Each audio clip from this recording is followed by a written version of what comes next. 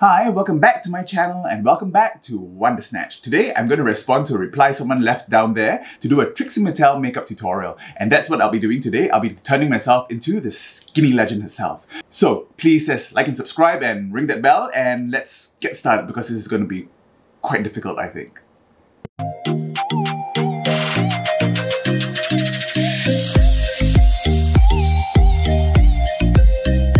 So today I'll be following Trixie Mattel's Vogue makeup tutorial, um, the 33-step beauty transformation. She's actually changed her makeup up a little bit for her new tour, um, her grown-up tour, where she makes it a little bit more mod, but I'm gonna go into a classic Trixie Mattel makeup today. Today I'm wearing my Trixie Mattel um, tank top. This is her one of her original pieces of merch. Love this tank top.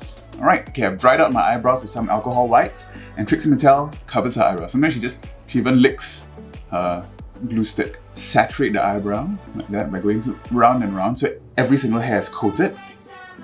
And then if you're comb, just comb it out. And I'm really fortunate because I have definitely have eyebrows, but they're not the yeah. fullest. So if you're so a gentleman nice with fuller brows, it's probably harder for you. Scoop up the excess glue. What I usually like to do, use that glue, put it there, and press it in. Press it. Press everything down. Okay, and the good thing about these purple glue sticks is that you know when it's dry, when it turns clear. Press, press, press, press, press. And then once it's dry like this side, just go over it again. And this time just follow the direction of the hair. And if you want to be real like Trixie Mattel, lick this and go for it. Okay, and you do that about, you know, as many times as you think you need to, and then do it one more time. So maybe about five or six times. So I won't be doing face tapes today because since it's going to be so big, it doesn't really make any difference.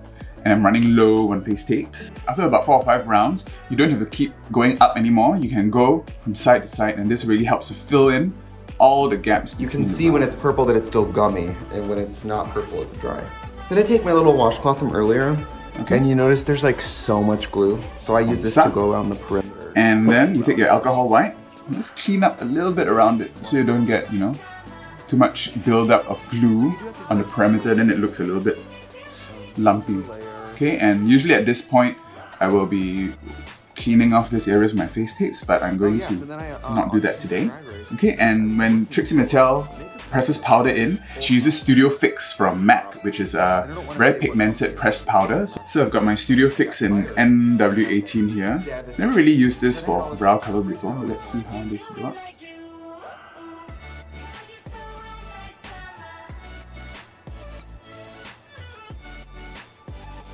Hmm, not bad. Pretty good. So Trixie Mattel, the man behind Trixie Mattel is Brian Firkus. And he's from Milwaukee, Wisconsin. So that's like in the middle of nowhere. That's also where Jaymes Mansfield is and Jaida Essence Hall, our new um, reigning drag race superstar. And Brian used to work at MAC. Also, he's actually really, really good at makeup. You can tell, I mean, it looks like this child's toy, right, his makeup, but it's actually very, very meticulously done and well, obviously works very, very well for him. And if, when you put it on anyone's face, it just transforms anyone's face into um, Trixie Mattel. Uh, the first time Trixie did drag was for the Rocky Horror Picture Show, so she used to play all the different characters in uh, Rocky Horror for Halloween, and, and, and, that was an outlet for, for him. And then he went to musical theatre school, started working in Chicago as one of the drag queens for the Neverland Party, which have been cancelled since then. That's a story for another day. Okay, so uh, Trixie starts with the eyes first. So first let's um, prime the face. She's priming with some moisturizer. I'm going to be using my Tatcha Silk Canvas. She uses four different foundations, so I'll be trying to do that too. And she starts off with the eyes. She does this on the base of a wet foundation. Then... So in this video, she's using Kryolan. I'm using... A lot of people are shocked that I wear liquid foundation. And she presses it in with a liquid foundation. And I'll start going My new stick. But my new stick is so hard. You don't want to drag too much over your brow cover because if not, you just lift off everything. And then she uses a liquid foundation. In another of her videos, um, in a drugstore makeup, she actually uses this Maybelline Super Stay foundation, which I got at the drugstore. And she likes it, so let's try to use this too. She's using lots. You're gonna bring that down quite far down here because her eye makeup is very extensive okay? And she doesn't set it. So she goes straight onto wet liquid makeup. For this look, we'll be using mainly neutrals, and I really want to go back to my Second Nature Morphe palette. I use this palette for my um, my kitty cat, my kitty cat makeup, and I, it's really, really nice and pigmented. So let's try to use this. Okay, and she goes on the outer corner and in here. Using the shade In the Zone. So I try to do this while the foundation's wet so that I can get it to This is the way I see her do it mainly with other people as well. She just packs it on. Yeah, so she was quite a big deal in Chicago. And the first time I heard of her was actually on this podcast called The Feast of Fun. And when she was announced to be being on um, Drag Race season 7, I was quite excited too. But unfortunately, she didn't make it very far. She was eliminated um, quite early. She was brought back and then eliminated two episodes later again. But she was, I thought, I found her to be really, really interesting. Okay, and she's a really, really good example of a queen who didn't do well in her first season, went out and basically killed it. Okay, she's a genius at marketing, at PR, and and she's super talented as well. So she's um, managed to um, do very, very well for herself. Okay, she doesn't really go into detail here about what she does, but she basically gradiates this out. Okay, when you place um, eyeshadow onto a wet base, it darkens it a little bit. So usually the color is a little bit darker than it is in the parent. Trinity T the Tuck Taylor, who won All Star Season 4, has been doing a series on Instagram where she recreates all the past this winners' Trixie makeup, makeup was hard looks. to do. And I think she said that Trixie's was probably the hardest. Okay, but Make bitch, sure the shapes this Trixie makeup was hard to do. This part here is important because this part, this is where her lid is usually, usually. So make sure this part is winged out. So for this darker shade, I'll be using chestnut. Okay, and just deepening it up. So this part can be, doesn't have to be so neat because the wing is going to be, you know, all the way out here. And deepen up this corner. Use a little bit of black. Eyebrows. looks pretty good. And I use a few different browns from here to do the brows because you don't want all just one brown. It looks nuts. Okay, and then she draws her eyebrows. Okay, and her eyebrows are tricky. Okay, they are all the way up there. Okay, they end. They will end about there. You start the tail. Oh god, see, because I didn't set, my forehead's creasing already. And then she draws the individual hairs for the rest. It's not ver- I'm not very good at that. Kimchi was like, Trixie, you look really pretty when your eyebrows are even. Thank you, Kim. That's really sweet. And because I've been doing a lot of 60s, It always looks really crazy before it comes together. Oh yeah, Trixie's name, I forgot to mention. Trixie's name, she actually, she says that her father used to call her Trixie as a derogatory term. And she reclaimed that name and made it her own. So I think that's a really, really powerful story. Okay, going into the black to deepen up the tail. So now I got some more of my TV paint on a little bit more. And I'm just gonna go and I have to start cleaning up around my brows. So I got this little concealer brush. 001. I used to use TV white, which and is like cleans the up the off brow with some white, um, off-white TV paint stick. I've got white here, so I'll be using my 070. Okay, so that I mean you can tell it's not really much, but once we start to do this, we start to Doing this on a unset base is very um, tricky because the resistance is slightly different from what I'm used to. So I'm just softening up around the edges Okay, for the rest of the face, I'm Let's just take going some more of my go in Studio Fix back with fluid. a liquid foundation. and start doing the full layer here. So this is my TV white paint stick. I'm gonna start doing my shapes.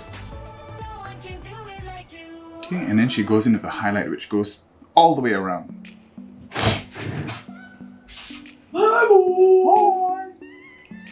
Funny. What? It's like Zoe Bashir. Yeah, that's that's exactly what her makeup is. Confusion though. Confusion. It's, it, it, she always looks crazy before it looks better, you know, boy. Okay, so We have all this shadow, right? and we have all this oh, yeah. cream, and we have this hard line. So what are we gonna do with it? Quit? No. And I'm gonna get in there. and I'm gonna use and she just uses the a tip sponge to, to bounce blend it into that eye along the perimeter of it, So and that starts to marry it without moving it too much. This way you control the I mean, as well. People have told me that my nose is a white worm swimming in chocolate pudding, and I don't think they're wrong. So that's most of the highlight. So now we can go in and start doing um, the contours. She says her nose is a it's a white worm swimming in chocolate pudding. I mean, it's quite a broad highlight compared to what I usually do. So for contour, going back to my V21, she does this kind of a chin strap thing all the way around. And for her cheek contour is from the earlobe to the corner of the mouth. Okay. Yeah. And everything above that. Um, the contours. It's like in makeup school and stuff, they're like, for every highlight, you have to have, ooh, you have to have a shadow. I think Sharon Needles says drag queens, we just draw brown circles around all of our features and we think that people think we look like a woman. So this is how I'm gonna marry this. Okay, so after season 7, Trixie really did um, a lot for herself. She hosted um, a web series called Uh with Katya, which was um, one of the more successful web series. Probably more successful than um, Untucked itself was at the time. This is quite difficult. You have to be. It does. It looks like it's all these geometric shapes, but you have to be so precise. And she also released music, so she has um, several albums. Her first one was Two Birds and then One Stone. Um, really love her music. I even performed some of her music um, out of drag once. Okay, so just trying to get those shapes down. Alternating between the dark and the light side. Trying to get this gradient. Okay. Let's take your time with it. See that line there? Try to get rid of that. Okay, so she has to do this. The highlight is, I mean, when you look at the Trixie makeup, you see the contour, this highlight is very the highlight, important. as you can see, is the part that really makes it like three-dimensional. So Trixie just recently released her latest album called um, Barbara. Really, really good. Malibu is one of my workout songs. So I'm powdering. This, okay, Tupperware container from Ikea. I've contoured the nose lightly, so now I'm just going to go into my powders, my usual mix. This is um, super white for the highlights. I think this is Ben Nye Fair mixed with Airspun coating powder, that like grandma powder. Presses it in there. But because we have so much makeup on, I have to really powder the shit out of this. This is what they call beating the face. This is an N9. It's like a really Okay, deep, brushing everything off. deep brown. Using the Studio Fix forehead. N45. It's gonna go around. See? Okay, remember this guy? So make sure you don't go past that. I haven't used a card in a while. You get it really close. Okay, and then using the That's just darkest um, eyeshadow here called Once you add that, look how like. Okay, I'm gonna go in just. I mean, that is such the- a fake shape, but if you do it right, I mean, your eye just believes it. Then and that's the my upwards. face. I know. Word. She's using a I've NYX using gel the same liner. Eyeliner for a very Got this gel liner, remember this um, White gel liner. starry It's one I got off five dollars. Let's see what I'm gonna get right in here. Smaller flat brush. And it's, I mean, look how opaque that is. You guys know how goes hard it is to get a white product that is like full coverage. Look at that. Right on One side of the nose. We gotta do that part of the eye. That's Okay, and she also uses that to clean, to whiten And then-. Same brush. We're gonna clean right under the brow. And also with her it. eyelid. It makes the darker spots look darker. Makes it look cleaner. It's good to get these curved brushes, in, you can just stamp it On on. an eyelid here. Okay, and then Pink spider color. I also don't want my eyelid to be as white as Okay, and then go in and set that all with Sugarpill Tako. Which is the whitest white eyeshadow drag queen staple. See, so before this it was all kind of like a muddy mess, but you know, with all the whites and the blacks, everything comes together. So you know, as I said before in the previous video, whites and blacks are really, really important in drag queen makeup. Oh, look, this fits exactly. Trixie came to the All Stars in season All Stars season three, and of course she won. She's an example of a queen who is really, really amazing and talented, but not exactly really good at drag race. She didn't do well in Snatch Game, and she was, um, you know, she's not that great lip syncer because her face is so bizarre. You barely see the mouth move. But she has such amazing music, and I think her personality is really great. And I've been following her career very closely since she won All Stars. Okay, now she paints on her eyeliner. I mean, you guys could imagine how much eyeliner I go through. So for this, I will be using my um, several eyeliners again. I'm going to use this gel liner, which I will revive a little bit again with my Inglot Duraline. And then with my paintbrush, Everything's so deliberate. it's scary. It goes right in like here. a, you know, Looking straight ahead, you want this eyeliner to go to like to be a nice big triangle. Make sure the lines are clean. Okay, and then fill this in. And I'm going to repeat this on the other side.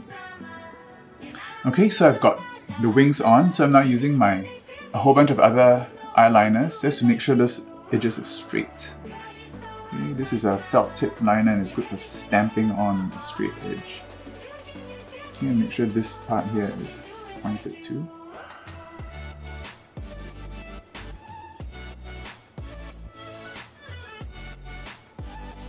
And now you can set the whole thing with black.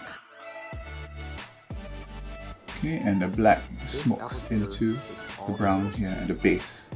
And I wear so much makeup that my Bring it down a lashes are covered the in like powder and foundation, so I need to go in and paint them completely black. The. Oh, I hate when people wear lashes and no Okay, mascara. now she's putting on oh, some home. lashes. Don't even go out. So I got these individuals. So let's just curl.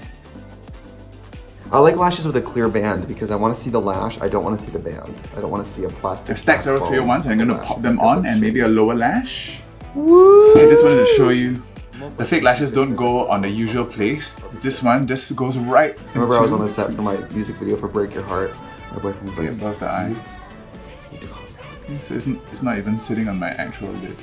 Woo! For lip, she says she's using five different lip pencils and really, really overdrawn.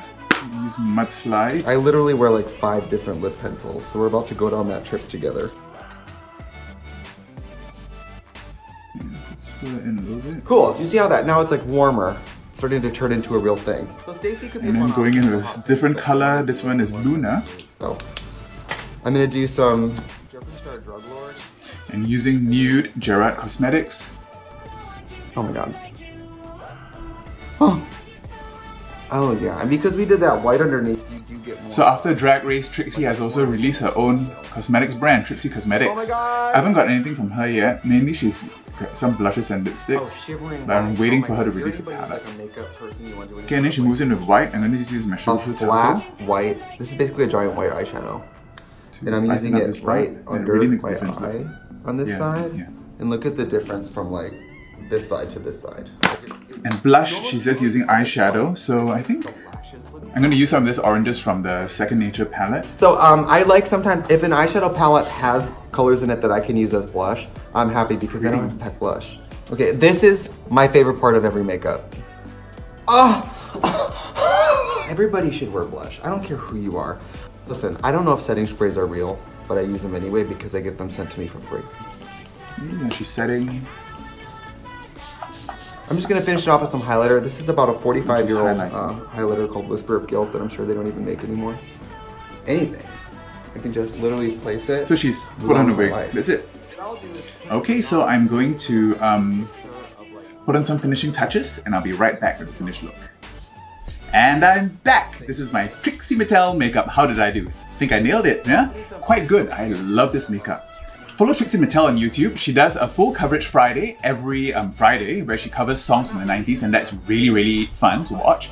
And she also goes on Twitch Live where she plays um, games like The Sims and Red Dead Redemption and people donate money and she's raised tons of money for charity. She's one of my favorite queens and her career is something that I really aspire to. She's got a great YouTube career, comedy, music, and cosmetics. So just putting it out there. Alright, so this is proof that I respond to comments down below. So leave a comment Tell me what you want me to do and I'll try to do it as best as I can. And like and subscribe, ring that bell so you're notified every time I upload new videos and I'll see you next time. Bye! Mm. Mm. Mm.